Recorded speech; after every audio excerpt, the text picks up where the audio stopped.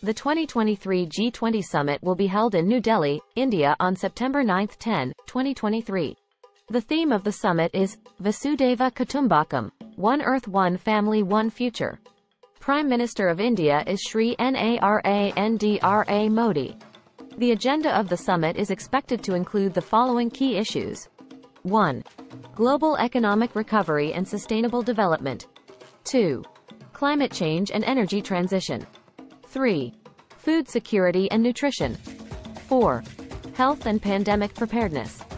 5. Digital transformation and innovation. 6. Counter-terrorism and violent extremism. 7. Financing for development. 8.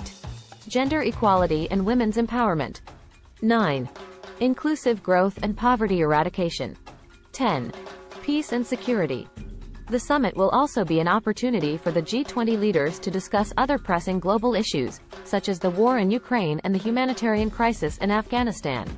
In addition to the LEADER Summit, there will be a number of other meetings held in New Delhi in the lead up to the summit, including ministerial meetings on finance, health, energy, and climate change. These meetings will help to shape the agenda for the LEADER Summit and ensure that the G20 is able to take concrete steps to address the global challenges of our time.